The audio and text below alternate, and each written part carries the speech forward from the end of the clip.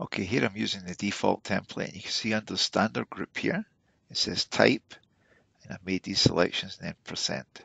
Now what I've done is I've updated my master ergo factors template and I want to update what I'm seeing here. So I cancel out of here, you go to the file and you go to the options and under the options you will find ergonomics here.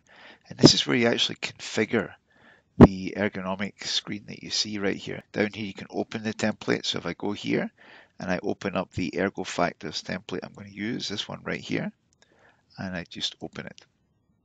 This is the one where I changed the, uh, the text to type of stress and percent of video clip. So that is different from what you're actually seeing. If I minimize this back here, it says type and percent. So what I want to do is I want to import that. So I'm going to bring it back up and I'm going to close it.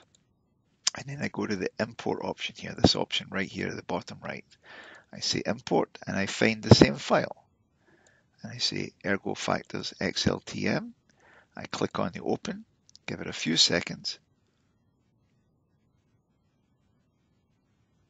And now it says type of stress, percent of video clip. So the changes I've made have now been placed into my master template.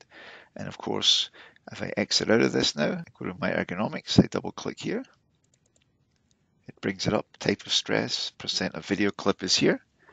And if I was to go over to my balance here now, and again, you can see my previous option is in here right now, type and percent, close out of this, and I bring it up again just by double clicking on it. Type of stress, percent of video clip. So the maintenance of the Ergo Factors screen takes place in the Video Timer Pro module, File, Options, Ergonomics here. This is where you can import your changes and update your master template.